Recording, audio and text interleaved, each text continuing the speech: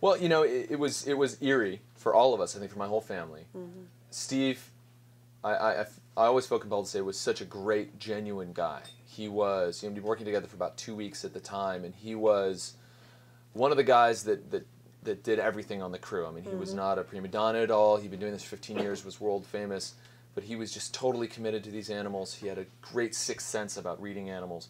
And this, what happened with stingrays, was a total fluke accident. It had nothing to do with him. I've seen people swim closer to stingrays in my life. There have been cover of dive magazines with people swimming above People sting- like to ride on them. Some people right? manta rays more. Stingrays usually won't let you get that close. I mean, that's the thing. You, you can kind of swim above them, but they they kind of flutter out before you can really Mm-hmm. touch them.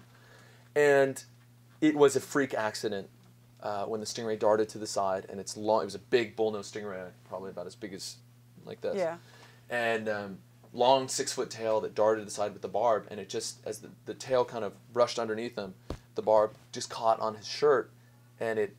I mean, one in a billion just found its way into Do you, do you mean if he hadn't off. been wearing a shirt, that might not have Um, happened? you know, 'cause a the- wets, it might have glanced off a wetsuit But I mean, the stingray wasn't actually attacking him. It was No, just the trigger mechanism by it. the stingrays can attack. They have I a see. tail that they don't really control. It can move a little bit, and the barb that they can lift up that and amazing? down. So the so But it was uh, just it was a freak accident. It- so it, it was, was not his that- fault. He wasn't molesting the stingray. He wasn't touching. As I've heard so many times, he wasn't inviting. But still, that it was an anything like involuntary act on the part of the stingray. Yeah, I mean, it, it would could because Makes it even the weird. Barb is a defense against a, again a defense mechanism for people stepping on or, or creatures biting, you know, things like that. So, um, uh, but I was on the ship. and But we brought him nobody knew what had happened. No one was sure. We actually, uh, from what I understand, he got to the, he made it to the surface and pulled the barb out. A lot of people say if he hadn't done that, he would have survived. This is bupkis. I mean, if you get a, like a, basically a stiletto in your heart, you're gonna die. Mm-hmm. Um, so he got to the, pulled it out and then went unconscious on the small boat. We were, they were snorkeling. I was kind of reading. We were, They were like on a diving that afternoon.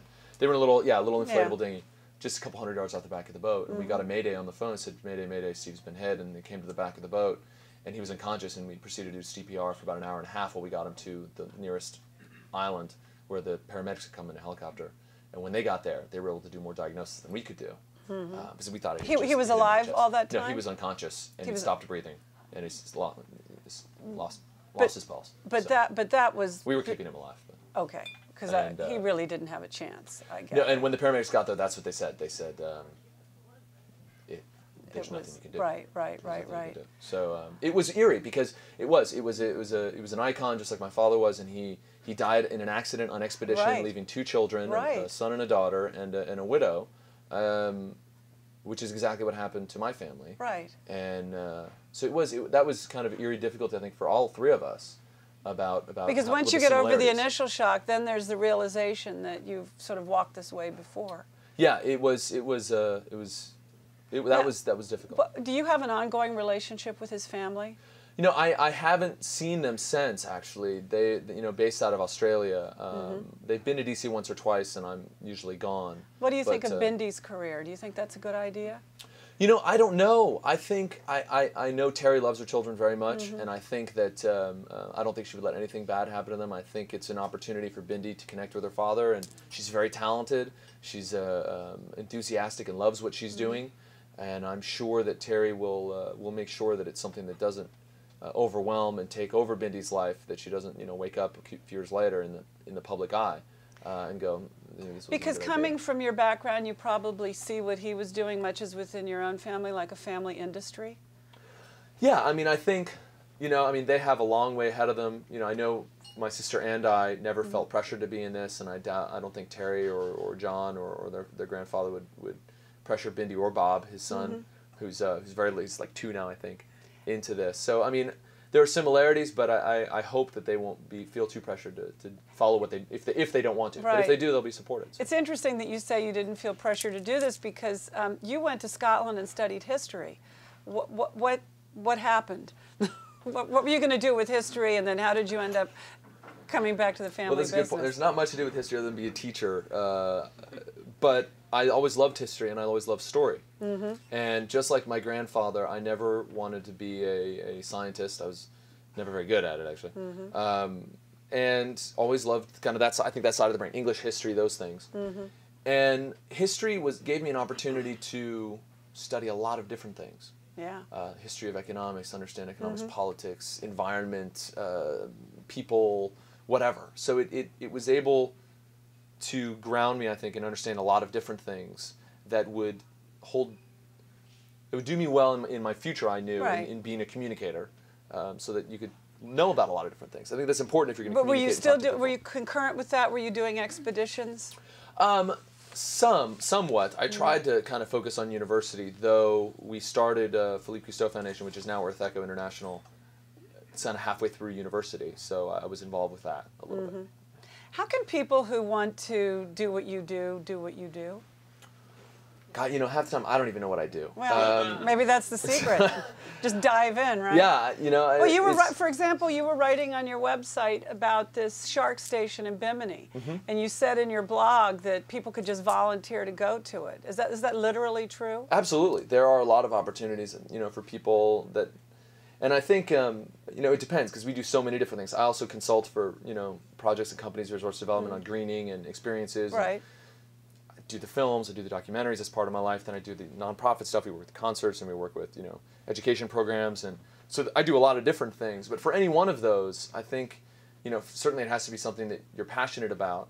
It's important to network as much as possible Yeah. certainly we you know always had a had a great platform and, and an awesome opportunity um, despite some some people trying to thwart that and um, One person. but I think that you know we doors open but they're a lot faster to close in our case too if you don't perform so It- that, you know it's a double-edged sword I think it's just networking and following your passion and, and looking for opportunities out there Mm-hmm. that, that allow you to, to, to pursue that Do you believe in aquariums?